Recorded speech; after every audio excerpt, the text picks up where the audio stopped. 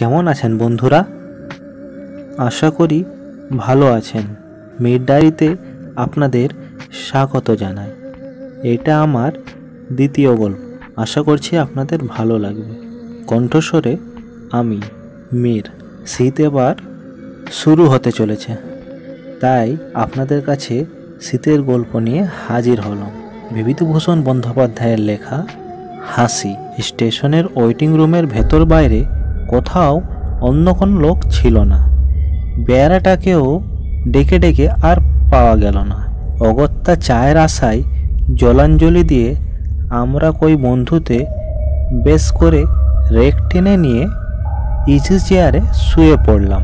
মাঘের শেষ যদিও শীত কিন্তু বাংলাদেশের পৌষ মাসের চেয়েও বেশি। রমেন বললে ও হে তোমরা যা বোঝো করো। আমি কিন্তু চা নইলে রাত কাটাতে পারব না। বসো তোমরা, একটা ব্যবস্থা দেখি।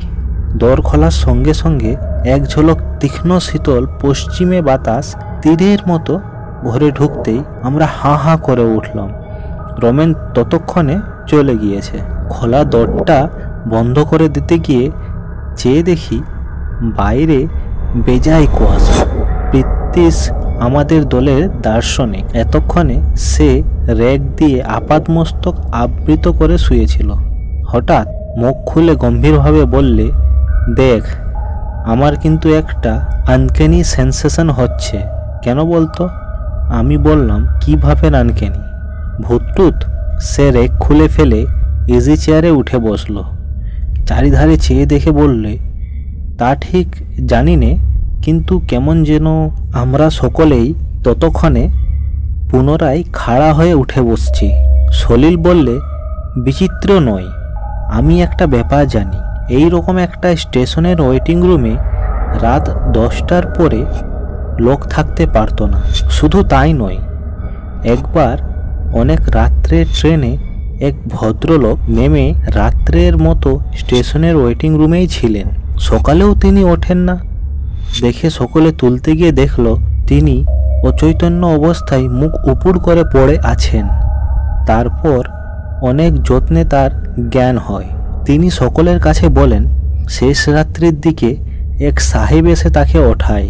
পরে হঠাৎ সে পকেট থেকে একটা খুর বার করে নিজের গলায় বসিয়ে এমন জোরে টানতে থাকে যে কাঁচা চামড়া কাটার অস্বস্তিকর খেচখেচ আওয়াজে তার সারা শরীর শিউরে ওঠে। তিনি চিৎকার করে লোক ডাকতে যেতেই দেখেন কেউ কোথায় নেই। সাহেবের চিহ্নও নেই ঘরে। তারপর কি হলো তিনি আর জানেন না। সেই স্টেশনে ওয়েটিং রুমের বাথরুমটার মধ্যে এক ছকরা সাহেব, ইঞ্জিনিয়র, কি জন্যে একবার ঠিক ওইভাবে গলায় খুর বসিয়ে আত্মহত্যা করেছিল। তারপর থেকেই এই ব্যাপার। আমরা সকলে আমাদের বাথরুমটার দিকে একবার চেয়ে দেখলাম। লুপ লাইনের নির্জন পাহাড়ে, জঙ্গলের ধারে, লাইনের ওপারে কেবল স্টেশন মাস্টারের কোয়ার্টারটা এবং লেভেল ক্রসিংয়ের ফটকে দরোয়ানের গুমটি। ওয়েটিং রুমের বাইরে, স্টেশনের হাতার পরেই একটা ছোট পান সিগারেটের ও চায়ের দোকান। দিন মানে এমন কি? সন্ধ্যার একটু পর পর্যন্ত দেখেছিলাম, তারপর থেকেই আর দোকানের পাত্তা নেই। দোকান বন্ধ করে চলে গিয়েছে। গল্প ভালো করে জমতে না জমতে হঠাৎ দরটা খুলে গেল। একটা কলির হাতে কাঁসার থালার উপর গোটা আষ্টে পেয়ালা ভর্তি চা নিয়ে ঢুকলো হাসি মুখে রোমেন। ঢুকেই বললে, দেখেছ? Where there is a will, there is a way. বলেছিলাম না, চায়ের ব্যবস্থা করবই। স্টেশন মাস্টারের সঙ্গে আলাপ হয়ে গেল। তার বাড়িও আমাদের জেলায়। তিনি বললেন, বিলক্ষণ আপনারা ভদ্রলোকের ছেলে, এবার বাঙালি, চা খাবেন, এ তো সৌভাগ্য। ছাড়লেন না কিছুতেই? নিজের বাসা থেকে তৈরি করে পাঠিয়ে দিলেন।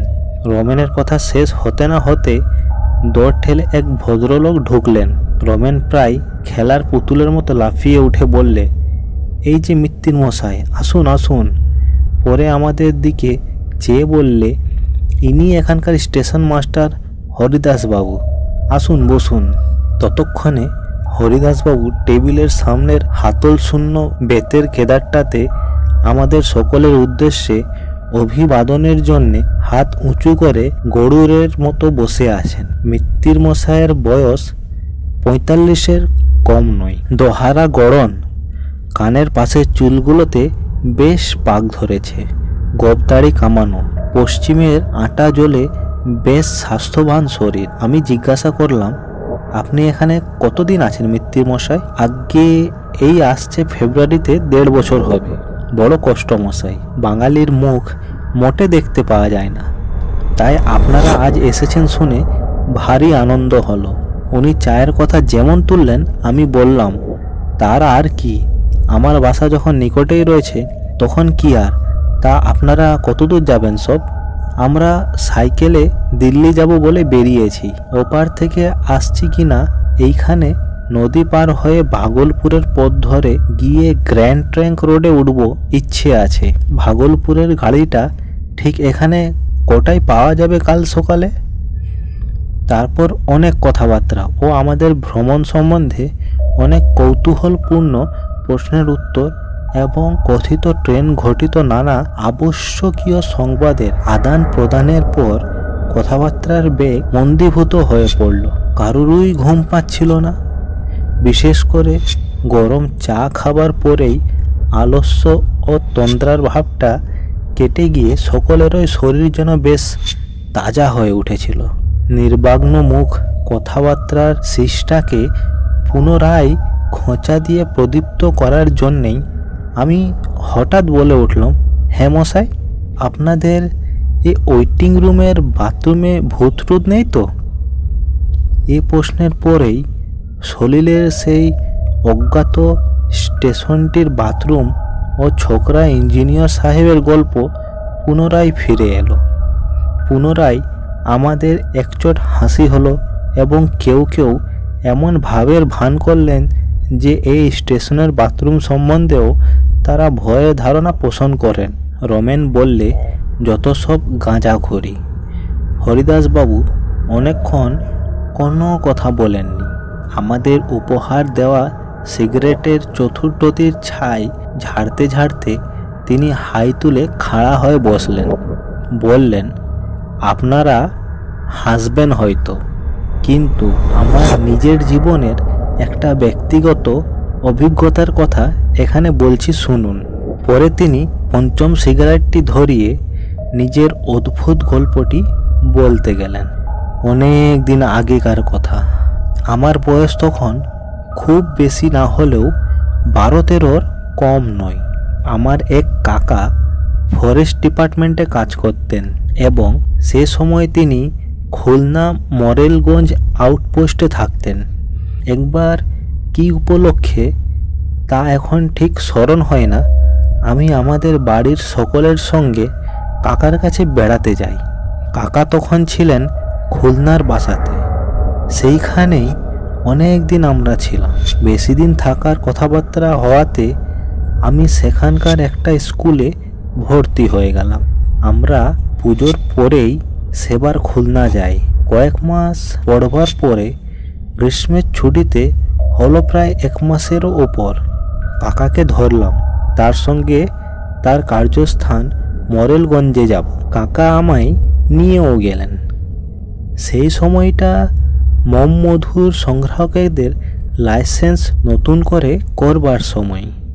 কেউ ফাঁকি দিয়ে পুরনো লাইসেন্সের বলে জঙ্গলে মম মধু সংগ্রহ করে কিনা পাহারা দেওয়ার জন্য ফরেস্ট ডিপার্টমেন্টের বট ও স্টিম লঞ্চ সবসময় সুন্দরবনের নদী, খাড়ি ও খালের মধ্যে ঘুরে ঘুরে পাহারা দিত।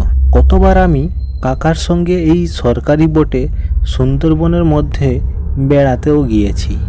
আমার মনে এই সুন্দরবনের একটা অপূর্ব স্বপ্ন ছবি মুদ্রিত আছে। তখন আমি ছেলে মানুষ। সবে তেরো শহর থেকে গিয়েছি। সুন্দরবনের অপূর্ব বন্য সৌন্দর্য এই এক মাসের প্রতিদিন আমার ক্ষুধার্ত ব্যগ্রমনে কি আনন্দের বার্তা বয়ে আনত, তা আমি মুখে আপনাদের বোঝাতে পারি না। আর কখনো সেই দেশে যাইনি।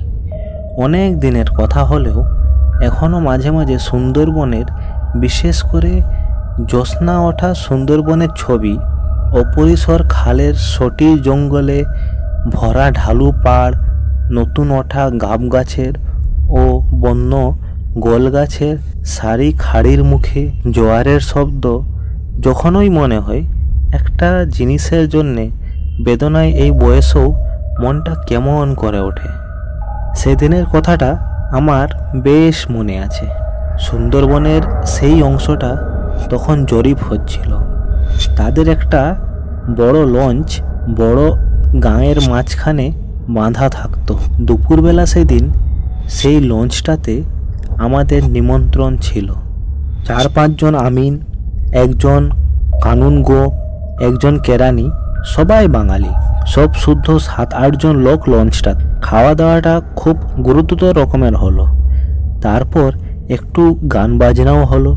বেলা পড়ে গেলে সেখান থেকে বিদায় নিয়ে আমাদের বজরাটা ছাড়লাম। ক্রমে রাত হলো, জ্যোৎস্না উঠল। খালের দুধারে নতুন পাতা ওঠা বনের মাথাটা জ্যোৎস্নায় চিকচিক করছিল। দূর থেকে নৈশ পাখি দু একটা অদ্ভুত রকমের ডাক কানে আসছিল। জোয়ারের জলে মগ্ন গোল গাছের আন্ত শাখাগুলো ভাটার পরে একটু একটু করে জল থেকে জেগে উঠতে লাগল। বাঘের উপদ্রবের ভয়ে সব সময় আমাদের বজরাতে দুজন বন্দুকধারী সিপাহী থাকতো। তারা বজরার ওধারের তলা উনুনে রান্না চাপিয়ে দিল। রাতটা বড় গরম, গুমট ধরনের। গাছের পাতাটি পর্যন্ত নড়ছিল না। চারিদিকে একটা নীরব, থমথমে ভাব। ছয়ের ভেতরে থাকবার উপায় নেই।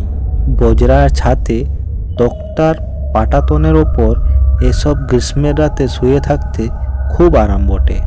কিন্তু অপরিসর খালের দুধারের ঘন বন থেকে বাঘ লাফিয়ে পড়বার ভয়ে সেখানে থাকবার জো ছিল না। ছয়ের মধ্যে বসে কাকা ও বিনোদবাবু দাবা খেলছিলেন। ছয়ের ঘুলঘুলিগুলো সব খোলা। আমি নিকটে বসে বই পড়ছি। খেলতে খেলতে হয়ে গেল দশটার বেশি। সিপাহিতে রান্না হয়ে গেল। কাকা কি একটা কঠিন চাল সামলাবার কথা এক মনে ভাবছেন। আমি মিটমিটে আলোতে আখ্যান মঞ্জুরি পড়ছি। বিনোদবাবু খেলোয়াড়কে সমস্যায় ফেলবার আত্মপ্রসাদে তাকিয়া ঠেস দিয়ে ঘুলঘুলির বাইরে ভাটার টান ধরা জলের দিকে চেয়ে আছেন দীর্ঘ বনগাছের ছায়া পড়েছে জলের ওপর এমন সময় একটা ব্যাপার ঘটল সামনে ঘন বনের মধ্যে অনেক দূর থেকে একটা উচ্চ সুস্পষ্ট কর্কশ অট্টহাসির রব উঠল হা হা হা হা হা হা হা হা অবিকল মানুষের গলার আওয়াজের মতো হলেও মনে হলো যেন এটা অমানসিক, অস্বাভাবিক স্বর। আমরা কিছু ভাববার পূর্বেই সেই রকম আরও একবার এবং তারপর আবার হাসির শব্দটা এত উচ্চ তীক্ষ্ণ যে মনে হলো বনের গাছগুলো কেঁপে কেঁপে উঠছে, মাটি যেন কাঁপছে, বটটা যেন দুলছে। সিপাহীরা তাড়াতাড়ি খাওয়া ছেড়ে উঠে এলো। কাকা, বিনোদবাবু, আমি সকলেই ছয়ের বাইরে এলাম। গাছপালা ছবির মতো দাঁড়িয়ে আছে। কোথাও হাওয়া নেই। পাতাটি পর্যন্ত নড়ে না। সম্মুখে জ্যোৎস্না রাতে চাঁদ বন গাছের আড়ালে ঢলে পড়েছে। বিনোদবাবু বললেন, কি মশাই রামবাবু, ব্যাপারটা কি? মাঝিরা ভারী ভয় পেয়ে গিয়েছে। তারা বজরার মাস্তলের তলায় গোল হয়ে দাঁড়িয়ে এক দৃষ্টে বনের দিকে চেয়ে আছে। আমরা সকলে ছয়ের মধ্যে ঢুকতে যাচ্ছি। এমন সময় আবার সেই হাসির শব্দটা উঠল। হা হা হা হা হা হা। শব্দটা এত ক্রূর ও মর্মস্পর্শী যে আমাদের সকলের গায়ের কাঁটা দিয়ে উঠল। মাঝিরা দুই কানে হাত দিয়ে বলে উঠল, আল্লাহ আল্লাহ। কাকা ও বিনোদবাবু ছয়ের মধ্যে পরস্পরের মুখ চাওয়াচাওয়ি করলেন। কাকা বললেন, কি মশাই হায় না নাকি? কিন্তু তার মুখ দেখে ও গলার সুরে মনে হলো, তিনি কথাটা নিজেই বিশ্বাস করেন না। তারপর পরামর্শ হলো নৌকাটা সেখানে থেকে কে সরানো যায় কি না। কিন্তু ভাটার টান এত বেশি যে বড় গায়ে টান ফেলে এত রাত্রে কোনো মতেই অত ভারী বোঝরাটা উজানে নেওয়া চলে না। অগাত্তা সেইখানেই রাত কাটাতে হলো। সবাই জেগে রইল, কারুর চোখে ঘুম এলো না সে রাত্রে। শেষ রাত্রে আর একবার শব্দটা শুনলাম। বনভূমি তখন নিস্তব্ধ। চাঁদ ডুবে গিয়ে নদী, আকাশ, বন সব অন্ধকারে একাকার। আমার চোখ ঘুমে ঢুলে এসেছে। এমন সময় অন্ধকার ভরা গভীর বনভূমির দিক থেকে আরেকবার সেই বিকট হাসির রোল উঠল। শেষ রাত্রের চাঁদ ডোবা অন্ধকারে সেটা অমানসিক এত পৈশাচিক ঠেকল যে তখন আমার বালক বয়স হলেও হাসিটার প্রকৃত রূপ বুঝে মুখে রক্ত যেন হিম খেয়ে গেল। সকালে জোয়ারের মুখে বজরা ছেড়ে আমরা দুপুরের সময় স্টিম লঞ্চে ফিরে এলাম। সেখানে সব কথা শুনে প্রধান সারেং খালাসিদের মধ্যে কেউ কেউ বললে, ওই শব্দটা এর আগেও তারা শুনেছে। তবে স্থানটা বড় গভীর বনের মধ্যে বলে সেদিকটায় লোক চলাচল খুব কম। শোনা গেল, ওই বনের মধ্যে নাকি অনেক দূর গেলে প্রাচীনকালের ঘরবাড়ির চিহ্ন পাওয়া যায়। জঙ্গলের মধ্যে শ্রেণীবদ্ধ বৃদ্ধ বকুল গাছের সারি দেখে মনে হয় কোনো সময় সেসব স্থানে লোকের বাস ছিল। সে যাই থাকুক, আজও এতদিন পরে যখনই কথাটা মনে পড়ে, তখনই এই কথাটাই মনে হয়, গভীর রাত্রির অন্ধকারে জনহীন জনপদের ধ্বংসস্তূপের চারিপাশে ঘূর্ণায়মান কোন অভিশপ্ত অশরীরী আত্মার পৈশাচিক উল্লাস ভরা অট্টহাসি সেদিন কানে গিয়েছিল, তাই হাসির রোলটা যখনই মনে আসে, আজও এতকাল পরেও যেন সারা শরীর শিউরে ওঠে। শীতের এই শুরুতে সারা শরীর শিউরে ওঠার মতো একটা গল্প। উফ, কেমন লাগল বন্ধুরা? আপনাদেরকে আমার এই গল্প যদি ভালো লেগে থাকে, তবে নিশ্চয়ই লাইক, শেয়ার এবং সাবস্ক্রাইব করবেন। ধন্যবাদ।